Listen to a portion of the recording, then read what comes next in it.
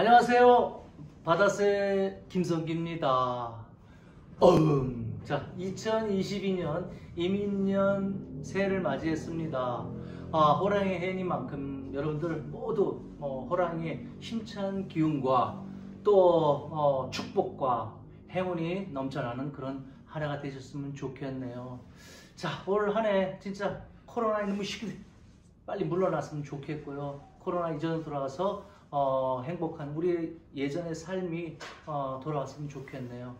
자, 더불어서 제 노래 사랑은 고맙고 이별은 미웠고 사랑은 고맙고 이별은 미웠고 가 이제 신곡이 나왔거든요. 그래서 사랑은 고맙고 이별은 미웠고 사고 이미 이렇게 외워주시고요. 제 노래 신곡도 많이 사랑해 주셨으면 감사하겠습니다.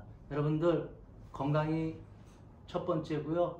모든 복이란 복은 여러분들이 다 가지세요. 사랑합니다. 복 많이 받으세요. 사랑은 고맙고 이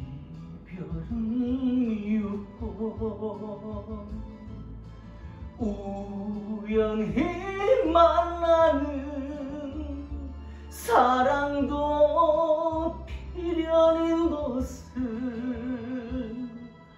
어긴만 스쳐가도 인연. 여러분들 올해 김성기 선택해 주시고 김성기랑 인연돼 주셔서 고맙습니다. 여러분들 사랑합니다. 새해 복 많이 받으세요.